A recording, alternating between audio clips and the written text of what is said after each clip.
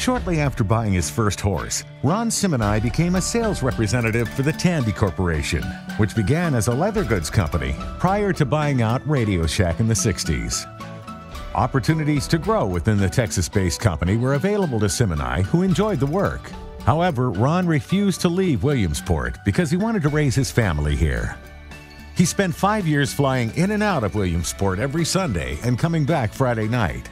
A friend told him he needed to be in business for himself instead of being on the road so much, working so diligently for someone else. After his first business venture, Ron went with his first love for leather. He and a friend started out with belts. This was the beginning of the Tory Leather Company and our 2015 Phillips Plankenhorn Small Business of the Year recipient.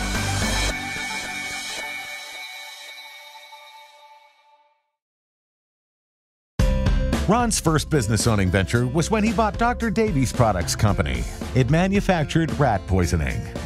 But his first love was for leather, and he started a belt making business with a friend that he worked with at Tandy. Neither of them had any money. His partner would manufacture 500 belts at a time and then send them up to Ron, and he would hurry up and go out on the road, sell the belts, and send him the money. While this was going on, Simoni had people asking about horse equipment. He decided to hire some Amish people in Clearfield to build strap goods for horse equipment. He realized that the Amish were craftsmen and used to doing their own work. Simoni kept building items that he thought would sell. The business evolved as time went on. Today, Simoni is the sole owner of the business. I think when you first meet Ron, he comes off as perhaps a little serious and hard to understand. With time, you really get a sense of his inner passion for his business, but also for his community. Today, more than 90% of the business has to do with the manufacturing of horse equipment. Some of those items include competition horse reins, training equipment, and horse bridles. Their quality made products are manufactured domestically, including English bridles, which are made in the United States, while the majority of quality made English bridles are made in Europe and India. They also sell belts and dog collars out of their English bridles. The product line that they have has come about by their dealer network asking them, Can you make this? Can you make that? Dealers who use the products may be found globally. They have about 1,000 dealers in the United States and probably about 200 accounts out of the United States. In fact, other countries demand the quality American made products. One of their main deals right now is exporting their belt line to Japan. Beyond being a leader in the production of high quality leather products for the equine industry, Tory Leather is a leader in giving back to the community. Well, as a member of the community, Ron Simoni is a, is a great guy. He's a great example. You'd like to clone a person like Ron Simoni. Their employees can be found to be involved in a host of different community organizations, including local little leagues and soccer programs, riding clubs, and service organizations such as the Rotary Club.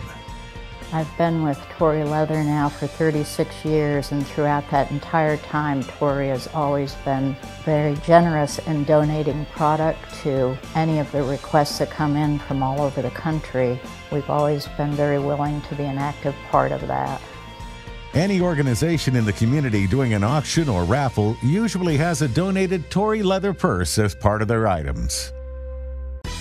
This community involvement is exemplified by Ron.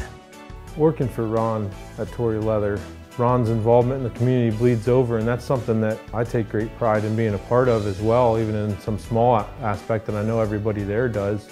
If he's involved with it, it's usually for the good of the community. He gives of his own time to organizations such as the Williamsport and River Valley Regional YMCA, First Community Foundation Partnership of Pennsylvania, and the Williamsport Rotary Club. Ron and Rosie are what I would call quiet philanthropists. You know what they believe in and what they have um, felt passionate about funding, um, but they have done it in a way that perhaps not everyone in the community realizes just how much they have supported different organizations. I think Ron is passionate about the causes that he chooses to get involved with. I think he's dedicated to those, and I think he's just a great guy. When he helped us out with our capital campaign, you know, we probably started out with a good 30 to 50 volunteers, and it's a grind. And at the end, there was Ron, maybe four or five other people and myself doing the capital campaign, which is normal for YMCA. But it really showed the kind of person that Ron is. I mean, he's the type of person that's going to commit to something, stick to it, and see it out to the very end. Ron and his wife Rosie were the top contributors to the development of the new Williamsport YMCA that opened in December of 2014.